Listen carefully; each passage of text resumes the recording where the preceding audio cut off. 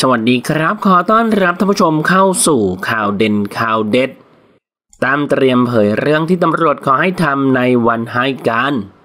ล่าสุดทนายตั้มสิทราได้ออกมาโพสต์ข้อความว่า ตอนนี้มีสื่อหลายช่องรวมทั้งเพื่อนฝูงติดต่อมาเยอะมาก ผมใช้กุญซือวางสคริปต์วางแผนแนะนำให้ 5 คนบนเรือให้การเท็จหรือเปล่า ผมยืนยันตรงนี้ว่าไม่ใช่ผมแน่นอน ถ้ามีหลักฐานก็จัดมาครับ จะได้ถือโอกาสชี้แจงความจริง โดยไม่ผิดมัญญัติทนายความ ว่าพวกคุณมาปรึกษาอะไรผมบ้าง และผมแนะนำอะไรไป รับรองว่าเป็นข่าวดังแน่นอน และอีกโพสต์หนึ่งที่ระบุว่ากุญซือสิทราไหนคนกระจายข่าวก็พูดกำกวมให้คนคิดว่ากุญซือคือผมแล้ว คณะทัวร์ก็เตรียมจอดหน้าบ้านผม ดีที่ผมปิดรั้วก่อน จันนี้ผมขอใช้เวทีรายการโหนกระแสชี้แจง และขอเชิญชวนคณะทัวร์ไปหาตำรวจชุดทำคดีน้องแตงโม โดยจะขอแฉบางอย่างที่ตำรวจขอให้ผมทำวันไปให้การ ผู้การนนทบุรีผู้กำกับการสถานีตำรวจภูธรเมืองนนทบุรี อย่าเครื่องผมนะกวักมือเรียกผมมาอีกรอบเอง ผมยุ่งคดีอื่นอยู่แท้ๆจันนี้รอฟังพร้อมกันครับและคอมเมนต์เพิ่มเติมว่าชีวิตผมผ่านอะไร